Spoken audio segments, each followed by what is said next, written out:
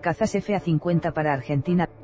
La Fuerza Aérea Argentina ya preseleccionó al caza FA-50 para reemplazar a los A4 Argón.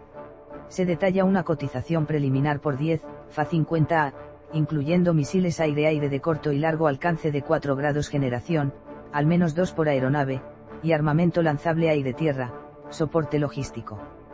El primer año por 600 horas de vuelo y 1500 horas para el segundo año incluyendo un pañol de repuestos y rotables, entregas de aeronaves. 4 el primer año y 6 al segundo, costo total por hora de vuelo, documentación técnica de la aeronave en castellano, capacidades operaciones como contar con sistemas de contramedidas y autodefensa así como la posibilidad de poder portar pods de reconocimiento, etc. El FA-50 es la evolución del entrenador tonelada 50 Golden Eagle.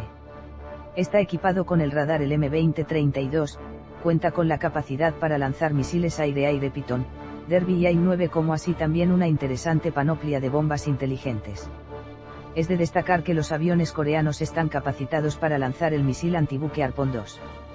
El FA-50 tiene la capacidad de alcanzar velocidades supersónicas de 1,5 Mach y la capacidad de soportar una carga G de menos 3 a más 8 gramos, una cuestión primordial si se intenta recuperar no solo la capacidad supersónica sino también de efectuar maniobras a altas velocidades perdida por la Fuerza Aérea con la desprogramación de los Mirage.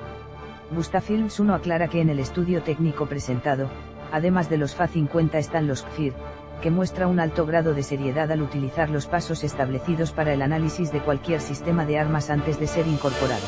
De lograr un acuerdo con cualquiera de las dos opciones, no sería para nada descabellado que este sea clasificado con el grado de secreto militar como era utilizado hace tiempo atrás. Gracias por ver este video. Espero sus comentarios, pongan like y suscríbanse. Hasta el próximo video.